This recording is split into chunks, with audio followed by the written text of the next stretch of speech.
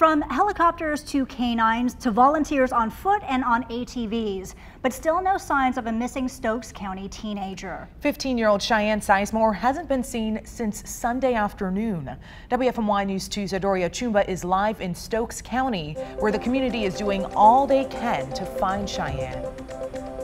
For nearly 30 hours, search crews have been launching from right behind me here, trying to find that missing teenager. Authorities say Cheyenne Sizemore has been missing since 1.30 p.m. Sunday afternoon. Now, all day, canine search teams have fanned throughout the woods near Piney Mountain Road and Highway 8, led by Stokes County Sheriff and Fire Department. They're trying to find any trace of the girl. One neighbor who knows the teen told me watching how searches were going in and out of the woods to look for 15-year-old Cheyenne showed him the seriousness of the situation. I've known her since she was a kid. You know, it's just, it's really sad. And like I say, you hope it's a good outcome on what's going on.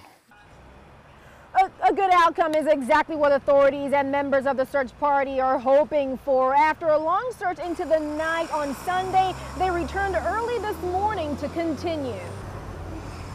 Around 7 o'clock, uh, we started putting searchers in the woods again then.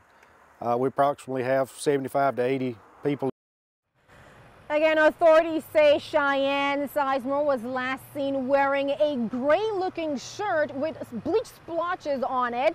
Now, I spoke to some family members, and they say that they are concerned. They don't know where she is, and they're hoping for her safe return. Now, authorities say if you've seen Cheyenne or you know where she might be, call 911 immediately.